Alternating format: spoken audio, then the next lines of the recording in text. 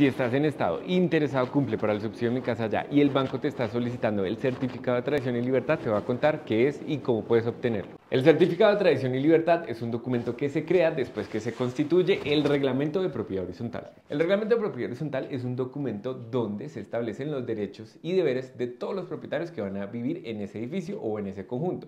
En este documento que se hace a través de escritura pública también se subdivide la matrícula de mayor extensión, es decir, la matrícula del lote, en pequeños globitos, en pequeñas matrículas de cada uno de los apartamentos.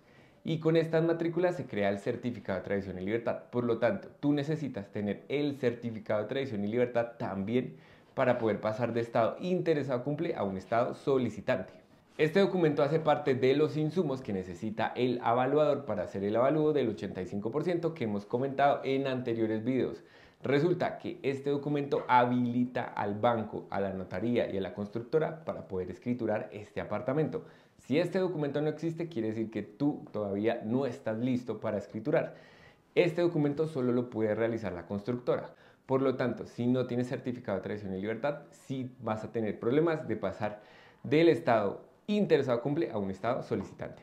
Síguenos en nuestras redes sociales que te estamos contando el paso a paso para aplicar a mi casa ya.